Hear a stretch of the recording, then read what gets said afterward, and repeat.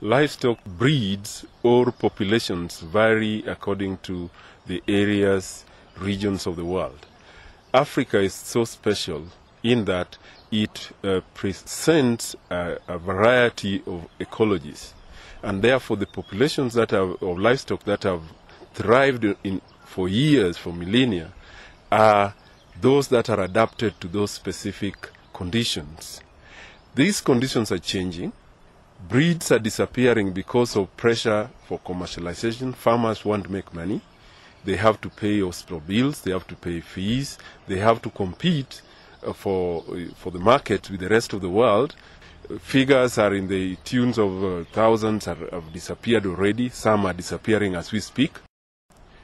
Different breeds react to different environmental conditions differently. So what is desirable in one production system may not necessarily be desirable in a, a, different production system. And that is why we are saying as production systems change and with the drivers that are unpredictable as, as, such as climate change, we need to be careful to sample enough populations of animals or cattle, sheep and goats, chicken, which are already well adapted to those conditions not enough is known about the indigenous breeds, particularly in Africa.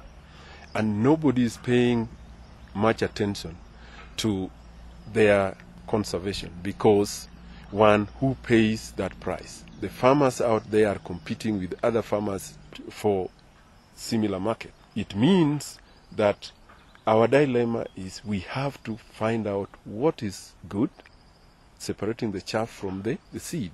That's a huge task. We have to work with the farmers as we do that, and the pressure is on. Again, global uh, agreements are such that those uh, conservation should be the remit of the countries.